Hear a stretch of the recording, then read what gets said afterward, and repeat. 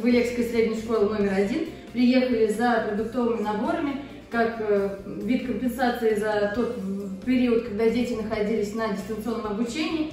Спасибо нашим властям за это. Наборы неплохие, и крупы, и макароны, и печенье, и масло, все есть. Спасибо.